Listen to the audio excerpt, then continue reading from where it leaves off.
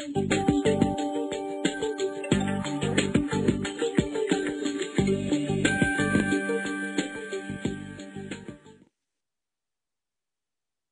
to the regulatory strategy that outlines the countries in the world where you plan to market the device.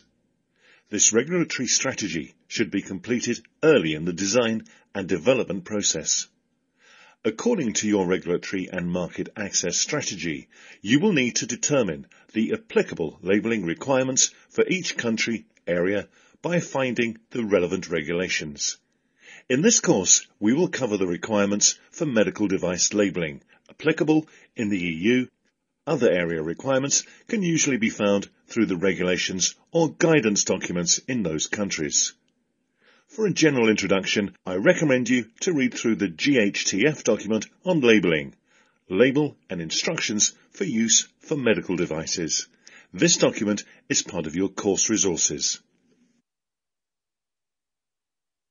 Labelling requirements for medical devices entail knowing in which geographical areas you want to market the labeled devices.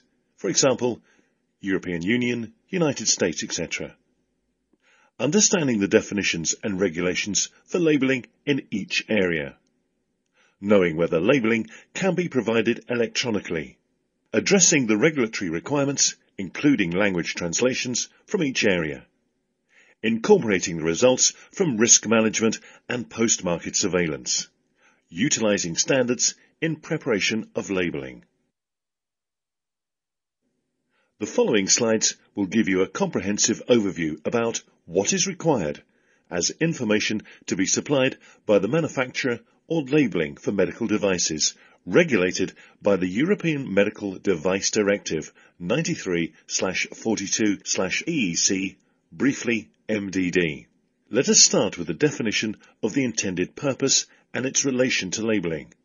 MDD 93-42-EEC Article 1 states, Intended purpose means the use for which the device is intended according to the data supplied by the manufacturer on the labelling, in the instructions and or in promotional materials.